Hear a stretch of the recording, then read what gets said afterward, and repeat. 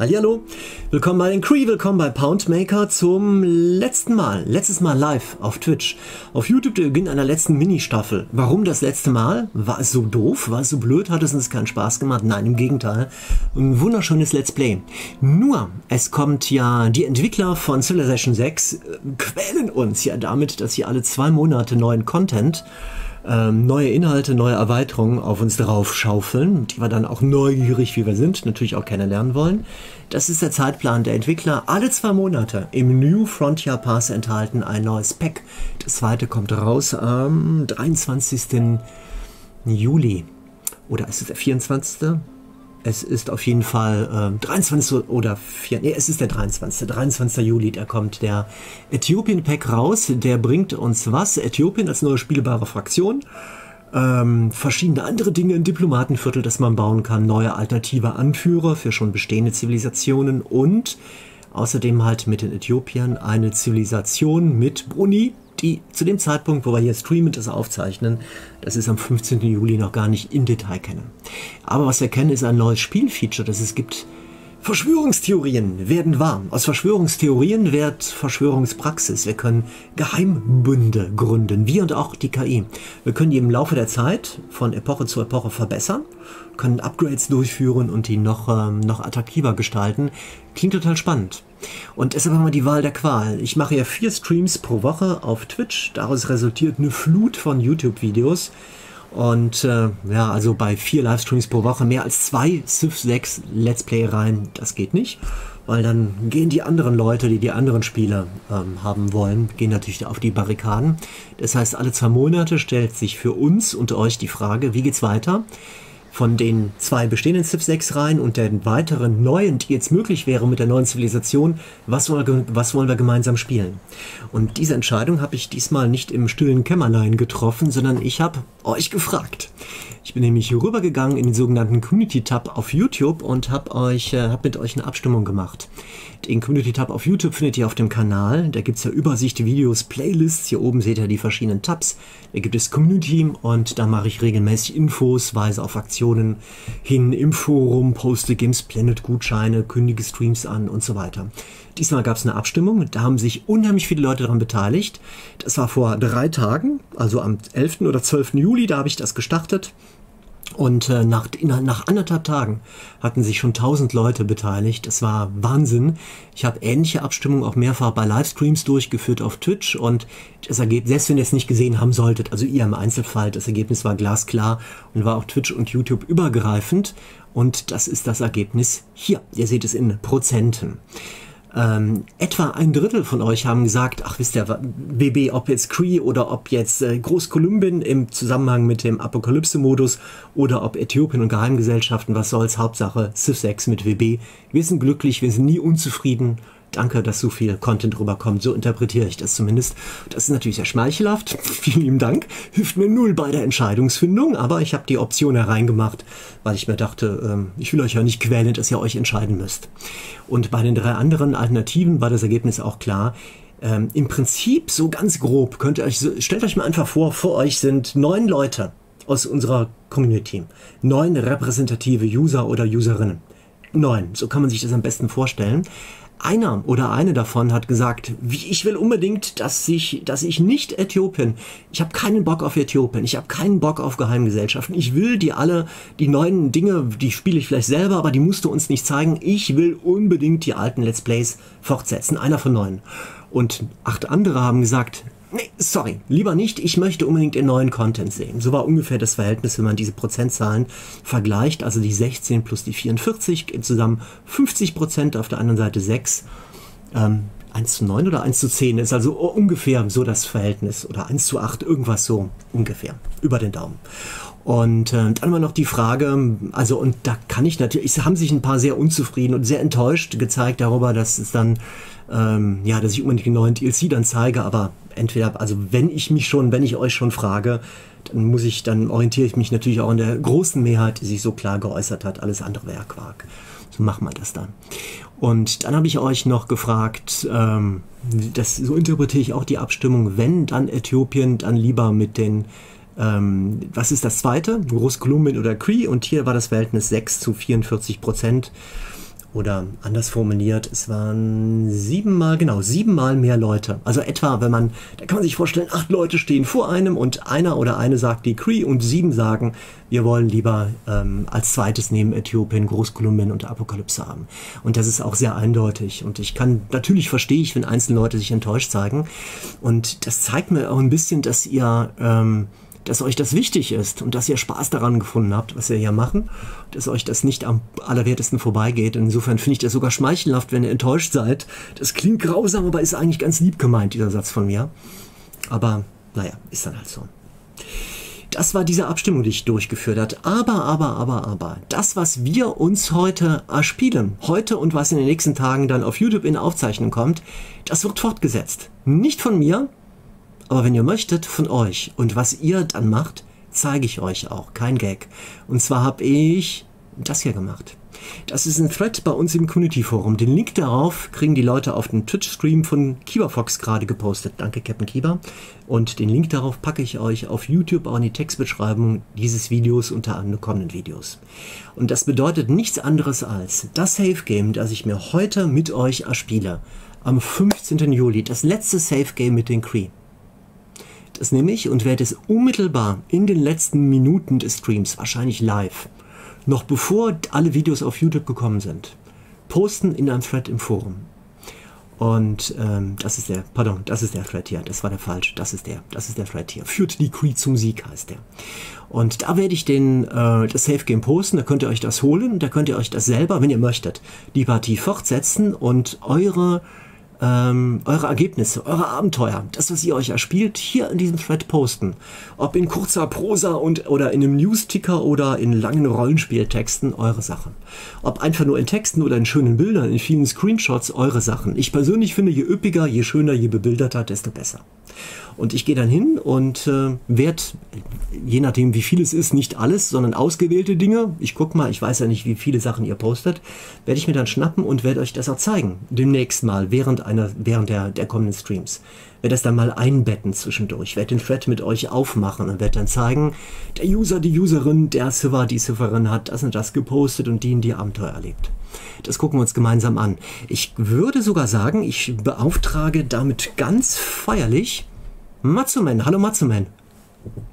Hallo, moin zusammen. Hatten wir nicht abgesprochen, aber wärst du bereit, dann quasi in den Thread mal hin und wieder reinzukommen, gucken und dann quasi in, bei den nächsten zu sechs Streams zwischendurch zu erzählen, ähm, was die Leute da, also ich mache die, die, die Links auf, zeig die Bilder und du erzählst ein bisschen was drumherum?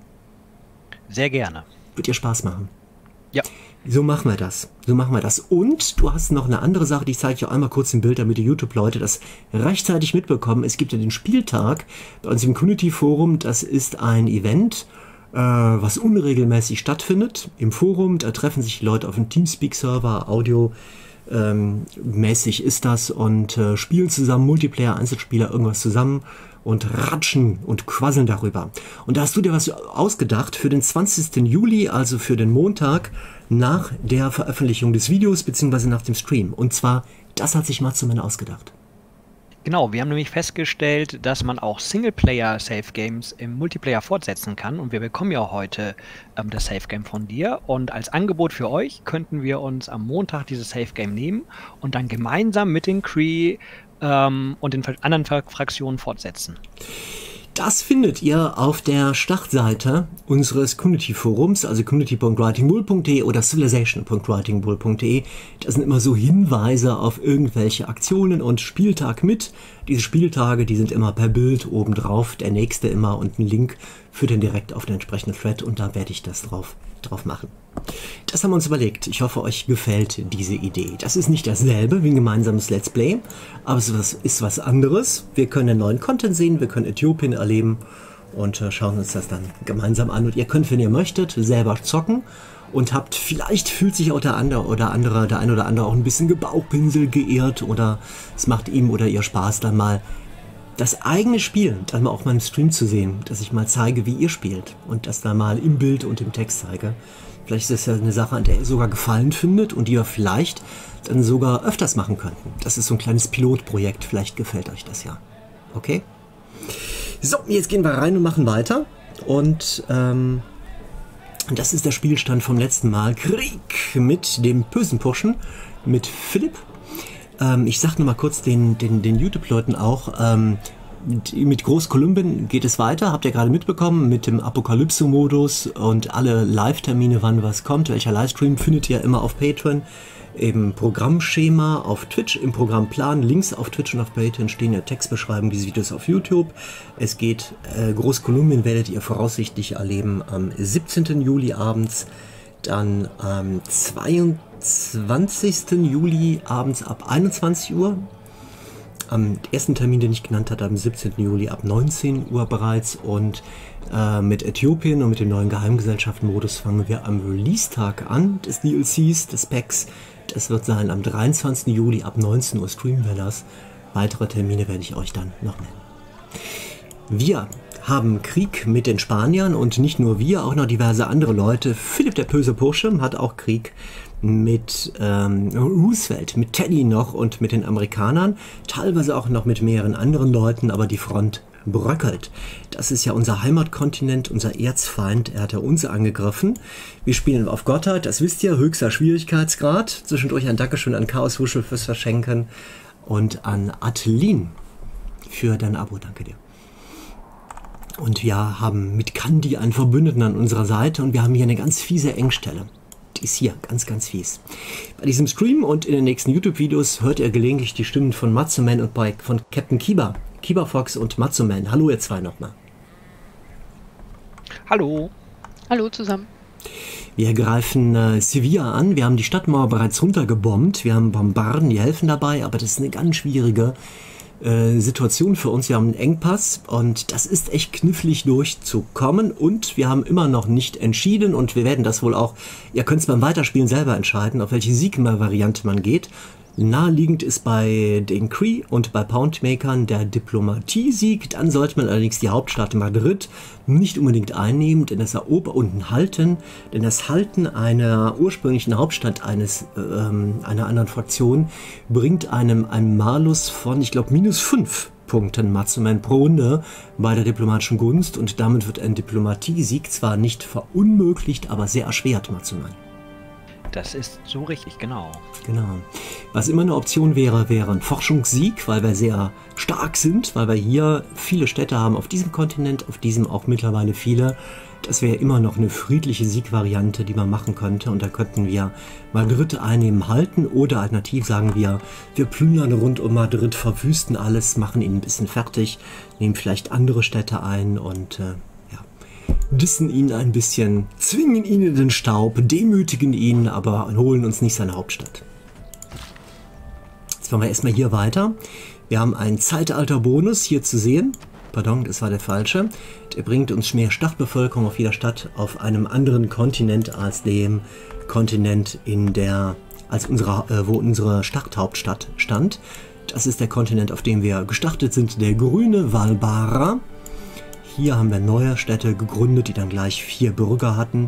Und hier im Westen haben wir das gemacht, auf diesem dritten Kontinent, der benannt ist nach der sensationellen großen Musikerin Nena. Na, ihr wurde der ganze Kontinent benannt. Immer wieder sehr eindrucksvoll zu sehen, wie schon in grauer Vorzeit Kontinente entstanden, vergangen und vor Jahrtausenden, vor Jahrmillionen schon benannt worden sind nach einer großen Musikerin, die es viel später geboren wurde. Sehr beeindruckend, wie ihr Geschichte erzählt wird. Sehr, sehr beeindruckend. Nein, im Ärztekontinent heißt halt Nena, das ist dann die ähm, Erdgeschichtler haben diesen Kontinent Nena halt für den früheren Kontinent mal so benannt. Hier haben, können wir im Augenblick nicht so viel machen mit dem Handwerker. Ich zeige euch mal die Regierungsformen, die wir eingestellt haben. Es geht ein bisschen auf Kampf, es geht auf Annehmlichkeiten und wir bauen viele Hafenbezirke, haben da eine Bonuskarte eingestellt, haben viele Schiffswerften, die wir im Augenblick errichten und wollen massiv setzen auf Handel, Handel, Handel und in Verbundenheit mit Schiffswerften natürlich auch auf Produktions- und vielleicht andere Vorteile, die mit Nachbarschaftsboni verbunden sind.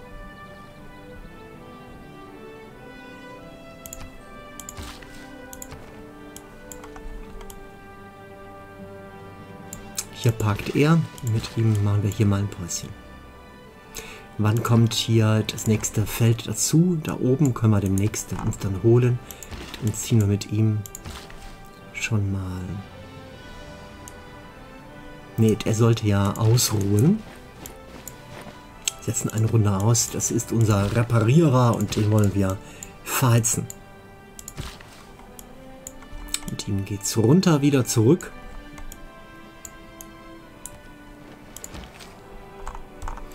So, und das ist die Situation rund um Sevilla. Das Lager kann feuern, Sevilla kann nicht mehr feuern.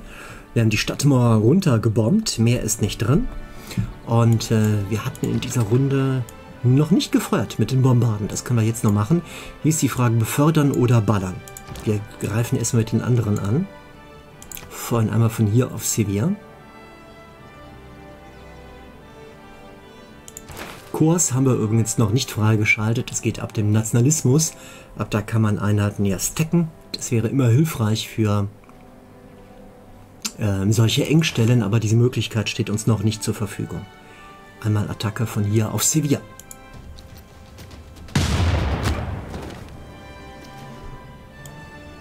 Dann machen wir das von dieser Seite aus hier ebenfalls.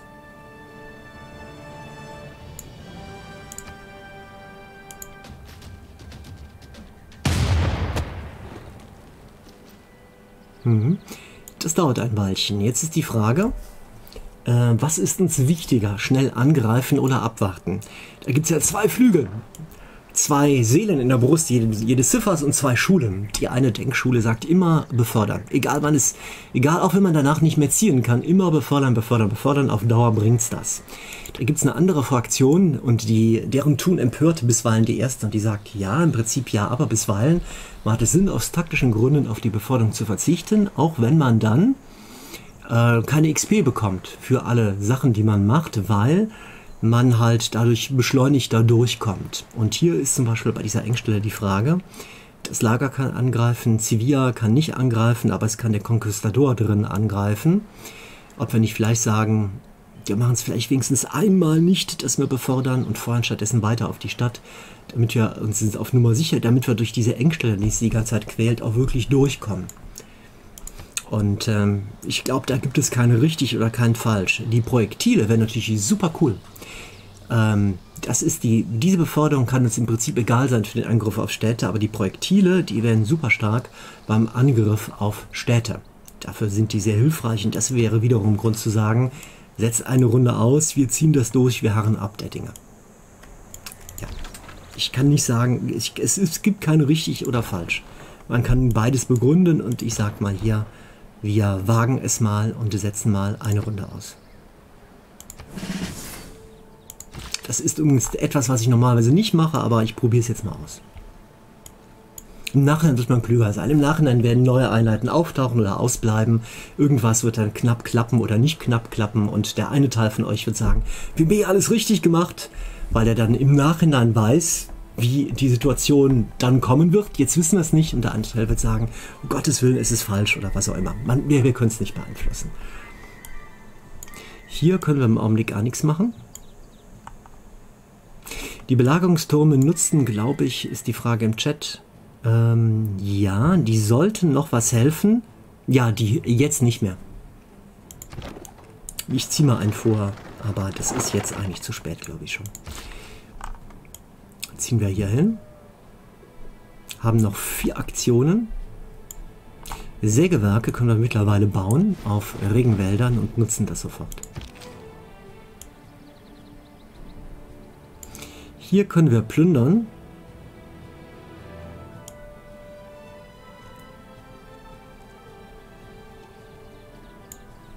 und können dadurch heilen. Nächste Runde dann die Stadt angreifen.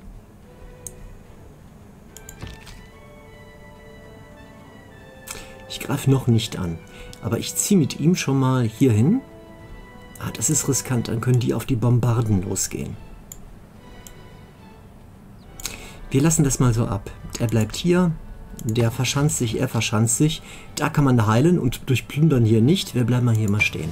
Wir warten noch einen Moment ab denke mir jetzt, ach so, er kann ja nicht an Land ziehen. Dann kann man das so machen.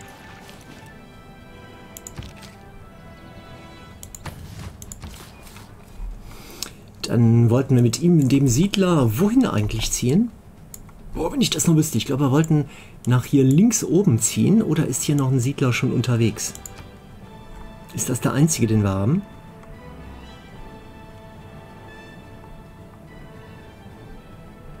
Ja, das ist der einzige, den wir haben. Und da hatten wir vor, hier oben hinzuziehen, um da eine Stadt zu gründen. Allerdings zieht mittlerweile auch ein Inka-Siedler endlich da mal hin. Das hat er seit Ewigkeiten nicht gemacht. Wir ziehen, ja, Alternativen wären, auf demselben Kontinent gründen wäre nicht so clever. Das wäre hier derselbe Kontinent, weil dieser Zeit, das hier, weil der Zeitalter-Bonus, dass man plus äh, drei Stadtbevölkerung auf fremden Kontinent bekommt, nicht mehr sehr lange zählt. Also, ähm, das wäre hier ein cooler Startort, aber nicht super cool. Hier unten wäre immer eine Möglichkeit, dass man hier siedelt. Es wäre wenigstens ein fremder Kontinent, aber richtig gute Startorte gibt es hier nicht. Das ist alles super langweilig hier zugrunde. Was könnte man sonst noch machen? Gibt es hier einen anderen Standort, wo man sich hinsetzen könnte? Ich sehe nichts. Also außerdem hier oben sehe ich auf dieser Seite der Welt nichts. Ähm, hier oben, ganz nach oben ziehen und hier gründen. Das können wir machen. Haben wir irgendwo noch einen Siedler eingestellt? Haben wir nicht. Dann nehmen wir den schon mal. Ich setze mal drauf, dass da oben die Inka im Nordwesten siedeln werden und wir ziehen stattdessen Richtung Nordosten, weil der Platz da oben auf dieser Insel, den ich gezeigt hatte, der wäre in der Tat genial. Falls wir rechtzeitig dort ankommen. Lord Duno fragt, hey WB, wann verlost du wieder mal was? Kann ich machen im Lauf. Wenn du mich, wenn du mich am Abend des Streams mal drauf ansprichst, dann mache ich einen Lord Duno äh, Gedächtnisstream am Ende äh, verlose. Das verlose ich am Ende des Streams zwei Keys. Wenn Lord Duno bis zum Ende bleibt und mit, mit, mit ihm Dutzend Leute mich, sagen wir mal, um 10 Uhr drauf ansprechen, dann mache ich um 10 Uhr eine Verlosung. Ist das ein Angebot? Da könnt ihr euch bei Lord Duno bedanken. Zehn Leute müssen aber mindestens das dann Punkt 10 Uhr posten. Kiba, passt du darauf auf, dass sie das machen?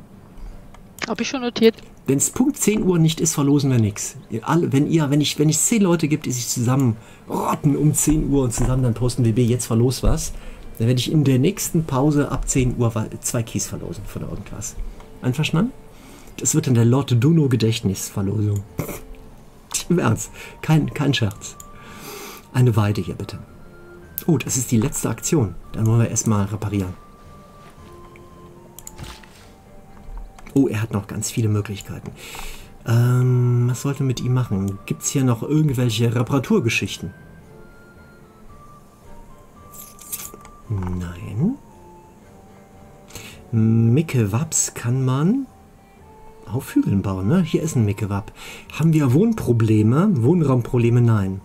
Haben Produktion, also ein Micke-Wap, unsere Spezialmodernisierung plus bringt Wohnraumproduktion und äh, gegebenenfalls auch ein bisschen Nahrung. Geht nur neben Bonus- oder Luxusressourcen kann man die nur bauen. Hier ist eine Bonusressource.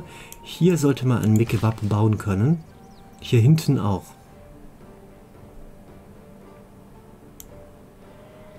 Hier kann man keins bauen. Hier kann man... Was ist denn das? Ist, ein, ist das ein Kahoka-Hügel? Ja. Haben wir schon einen Kahoka-Hügel hier in der Stadt? Ja, da ist einer. Einer reicht erstmal aus. Also, dann könnte man hier ein Mikewap hinsetzen. Hier kann man keine hinsetzen, weil nicht die Nebenbonus- oder Luxusressource. Hier könnten wir eins hinsetzen. Zwei nebeneinander geht nicht, aber hier könnte man tatsächlich... Die KI macht uns, zeigt uns das richtig an. Hier machen wir das. Hier kommt ein Mikewap hin.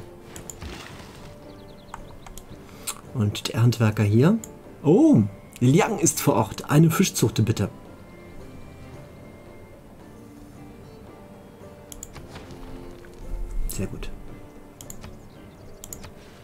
Fein. Das hilft immens. Eine Runde weiter. Haben wir denn alles gedacht? Ist alles gut so? Neue Reichskanzlei, danke fürs Verschenken. Haben wir alles so richtig gemacht? Fehlt noch irgendwas? Wollen wir nur irgendwas kaufen, irgendwas handeln, irgendwas tun, irgendwas machen? Ich denke nicht. Eine Runde weiter. Wie ziehen die Spanier jetzt?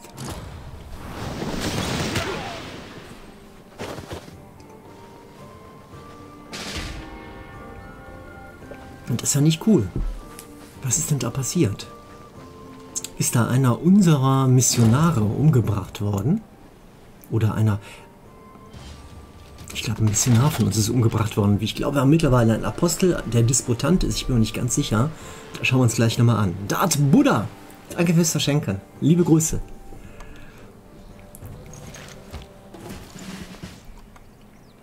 Ja, ich glaube, der Inquisitor wurde besiegt. Das war natürlich saudoof. Und hier sind haufenweise Protestanten. Aber wir haben... Das ist der Sieg. Hier, schaut mal, der hier. Der Apostel hat die Beförderung theologischer Kampf Disputant. Mit dem ziehen wir rüber und da räumen wir mal auf. Wollen wir indessen... Wisst ihr was? Können wir mittlerweile noch einen weiteren Inquisitor uns holen, der mit ihm mitzieht?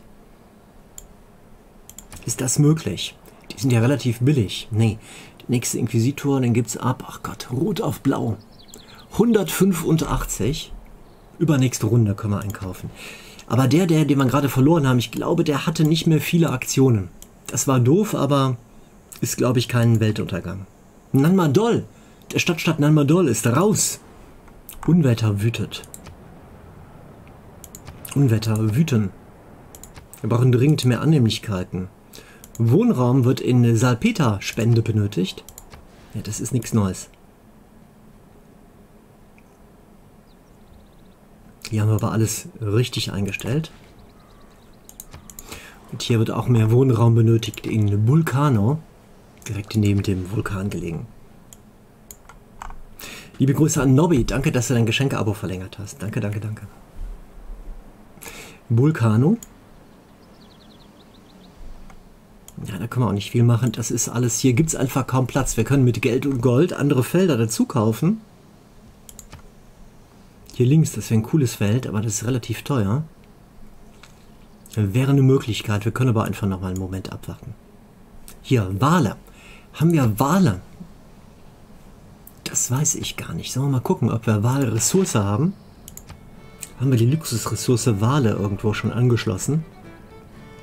Ja, Eins, haben wir nicht selber angeschlossen, bekommen wir von einem Stadtstaat. Die Frage ist, ob wir uns da nicht selber einen holen wollen.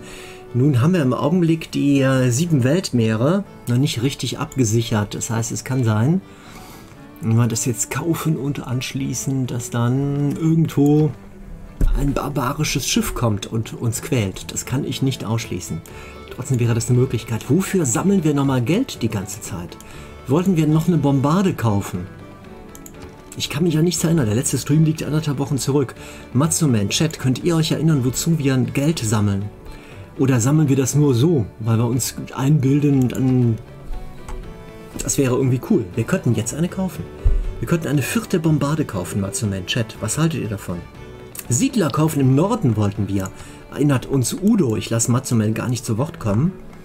Wollten wir in Hufeisen einen Siedler kaufen. Wie teuer wäre der auch. denn? Dass wir uns da einen Siedler kaufen wollten.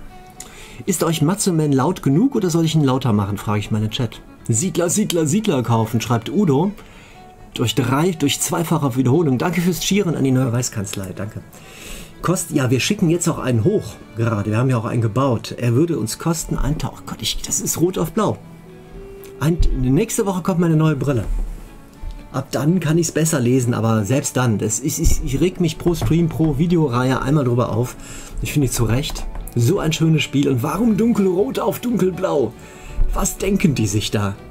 Etwas lauter bitte. Der Chat hätte ich gerne ein bisschen lauter. Mache ich in, der, in zwei, drei Minuten mache ich das. Danke fürs Feedback.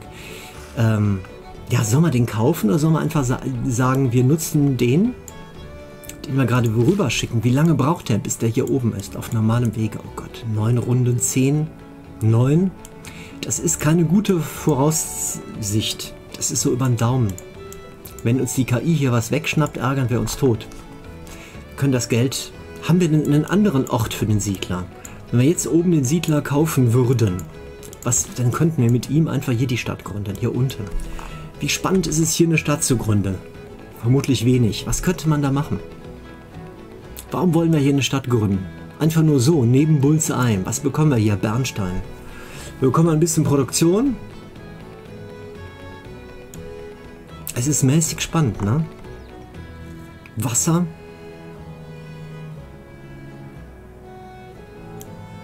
Schaden kann es nicht, aber... Was machen die Inka? Ja, die wollen hier gleich siedeln. Es könnte sein, dass sie Richtung nach... Oh Gott, guck mal, hier haben die Spanier mittlerweile gesiedelt. Es kann sein, dass die Spanier hier nicht mehr siedeln wollen, weil... Äh, pardon, dass die Inka hier nicht mehr siedeln wollen, weil die Spanier sich hier nicht niedergelassen haben. Die KI macht manchmal verrückte Sachen. Wisst ihr was, wir machen folgendes. Wir kaufen da oben den Siedler und ziehen mit eben mal Richtung Westen und schauen, ob wir nicht mit vielleicht ganz viel Glück hier oben noch äh, siedeln können, weil es geht ja eigentlich. Wir könnten ja coole Plätze der KI vielleicht wegschnappen. So machen wir das, ja? Wegen des Hafens hier siedeln, wird gefragt. Ja, kann man machen. Hier ein Hafen, aber so spektakulär ist es nicht, ne? Klar, kann man machen. Aber es ist, es ist mäßig gut. Bernstein, okay, aber Antananarivo. Wir machen das mal so, dass wir mit dem Siedler hochziehen Richtung links. Wieder zurück, da wo wir gerade hergekommen sind. Sehr aufregend. Was ist der schnellste Weg ins Wasser?